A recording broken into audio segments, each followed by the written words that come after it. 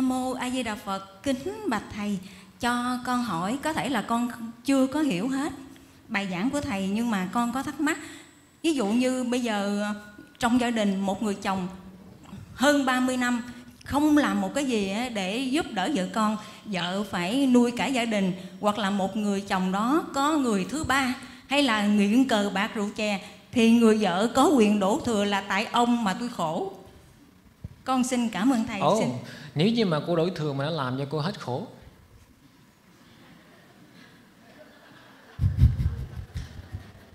Hết đâu? dạ không. Thôi Cô đang hỏi cái thứ mà Cô biết nó không có vận hành Đúng không? Mình đang tìm cách Mà nó vận hành mong nó hết khổ Nhưng mình thừa biết Là nó không vận hành thì mắc mớ gì? Bây giờ cô cô nằm với một người hôi nách. Có ba cách là cô đạp anh ta rớt xuống giường. Hai là cô bỏ đi ra chỗ khác ngủ.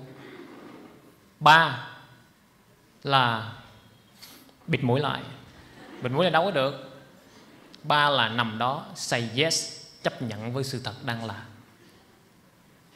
bây giờ, nếu như mà mình nằm đó mà mình không say yes để chấp nhận, ông này vừa xấu, vừa già, vừa hôi nách, mà đạp thì không dám đạp, bỏ đi thì tiếc nối mà nằm đó càm rà miết, cô đang làm nạn nhân của anh ta. Và cô chọn cách nào? Một là lấy cái máy điều khiển về. Anh ta làm như vậy là để cho anh ta đưa cái điều khiển cho mình. Cái điều anh ta đưa mình không lấy mình ngồi đó mình nói bấm đi cứ bấm đi. Anh cứ thích bấm đi nhưng mà bấm chương trình tôi muốn tôi không có bấm được nữa. Họ không bấm được nữa cô nha. Chứ không phải họ muốn hại cô đâu. Khi mà mình thương nhau á, là mình làm cho người thương của mình hạnh phúc. Còn khi cái năng lượng mình nó cạn kiệt rồi là họ không phải cố tình làm mình khổ mà họ thực sự hết thức ăn rồi. Họ đi tìm cái thức ăn khác cô thương họ thì cô không cho họ thức ăn mới, cô đừng có đạp đổ thức ăn của họ. Không ai muốn tới thế gian này làm khổ một chúng sanh nào hết. Có điều họ tới đây, họ cho quá nhiều, họ nhận trả được bao nhiêu giống như cô vậy, cho nên họ cũng đi kiếm một cái loại thức ăn nào đó để cho họ sống qua ngày thôi. Phải vậy không? Cô nghĩ anh ta đang đi uống rượu, đang vô trách nhiệm gia đình, lòng anh ta hạnh phúc lắm chăng? Một người hạnh phúc không bao giờ đi làm việc xấu cho nên thấy một người đang đau khổ mà muốn đạp cho họ chết luôn, mình chưa phải là từ bi. Vậy ra cô ngồi cô đổ thừa đi, anh ta sẽ càng đi và bỏ luôn. Đến một lúc nào đó cô nguyền rủa anh ta, anh chạy ra đường, anh ta sống, chết trên đường và anh bị té xe, cái rầm anh ta chết và bỏ mạng. Chồng ơi, em xin lỗi nha.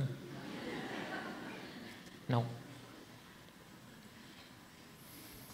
chúng ta gặp nhau trên đời năm ba, ngày năm ba tháng, năm ba chục năm thương nhau được cho bao nhiêu cho. Khi người ta không cho nữa, thì biết là người ta hết của rồi. Vậy thôi. Mô phật nhân cô. Dạ con xin cảm ơn thầy.